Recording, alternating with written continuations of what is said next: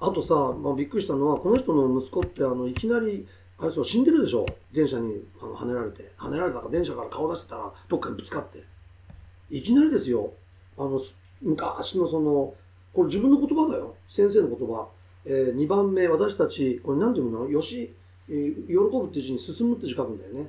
まあ2本目でわかんないけどとにかく寄進だよ。もう16歳のティーンエイジャーの時に伝道を出て行って本当にありがたいのです。自分たちの家に再再臨主が来たと言ってって息子が痛々しいじゃないですか。これまあ本当かどうかわかんないよね。あのそうやって美化してるかもしれない。要は自分の息子が自分の親は再臨主なんだってことで感動しちゃって感極まって伝道に受験勉強しなきゃいけない時期だったのに伝道に行ったっつうんだよ。っていうまあ話。で何も知らずに父母様に対して信じられずに心が行ったり来たりする立場で原理のみ言葉を知って伝道に私が最初に先頭に立って出かけるんだと言って出かけた途中汽車に乗っていく時に汽車の乗車階段の一番下に立ってカーブを曲がるのに頭を突き出してこのようにしてそこのライトに当たって客死しませんでしたか要はこれはね信徒にこのような身を捧げてまで伝道しなさいってことの美美談として言ってるわけ。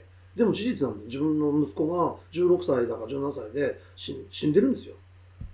そして、まあ、あるとこの講演会ではこう言ってますね、えー、このこの子ね寄進っていう。もうそうですね。斬死ですよね。自分で言ってんだよ親が。惨めな死に方してますよね。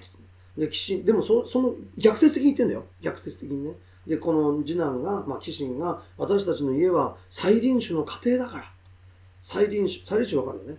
その再度生まれてきたメシアである、まあ、今度今度こそ生まれてきたメシアである。の家系だからその血筋を持って生まれた息子として私は伝道していく上で先頭に立つって言って伝道に出かけたのですが汽車。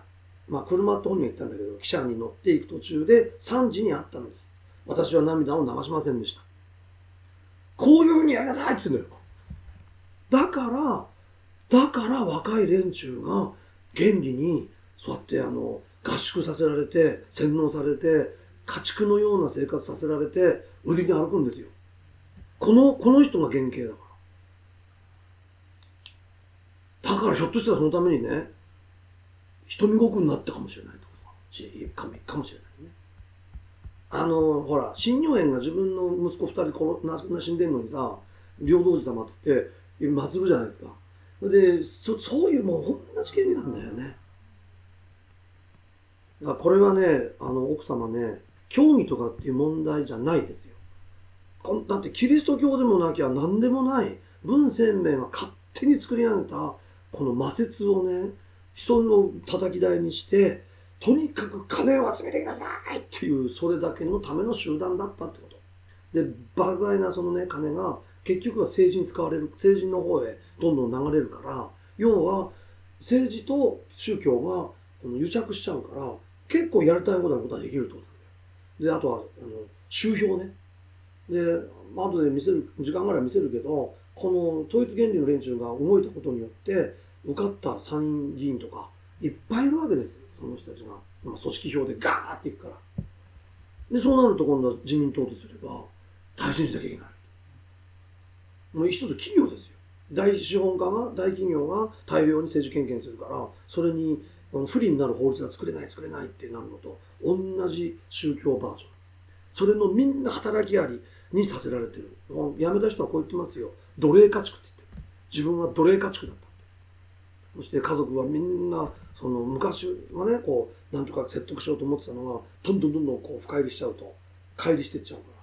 何が麗しい家庭書いてあるよね。世界地上に建設される天国は理想的な家庭を築くことから始まるわって。家庭なんかできてないじゃないですかみんなそうやって。まっとうな神経持ってる人たちは一人自分の子供がそうやって入れ込めば大変なこの一家持参ですよ。